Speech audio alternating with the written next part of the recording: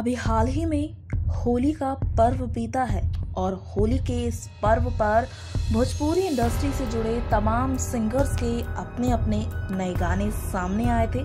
लेकिन इन सभी के बीच खेसारी का गाना सबसे ज़्यादा हुआ था।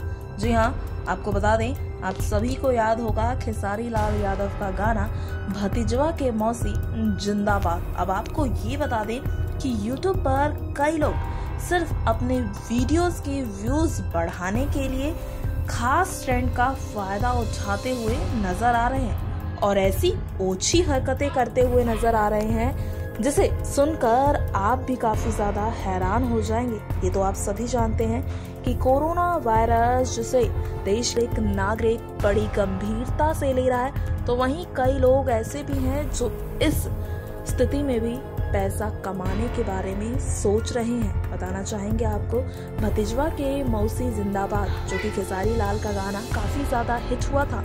और अब इसी गाने का नकल करके कई यूट्यूब चैनल ने इसी धुन के साथ एक नया गाना क्रिएट किया है।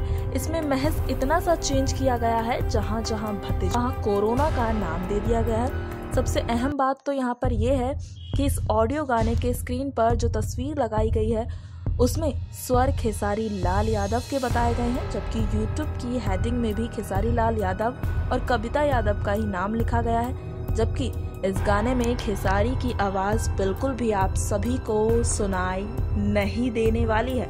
अब कोरोना का एक तरफ़ डर बना हुआ है, लेकिन वहीं सोशल मीडिया पर ऐसी ओछी हरकतें जो सामने आ रही है वो कहीं ना कहीं समाज को संसार कर रही है। नेक्स्ट नाइन भोजपुरिया से Aarti report. Next nine news Bhojpuria के सब्सक्राइब करी। और लेटेस्ट अपडेट खातिर बेल के आइकन वाला बटन दबाएँ।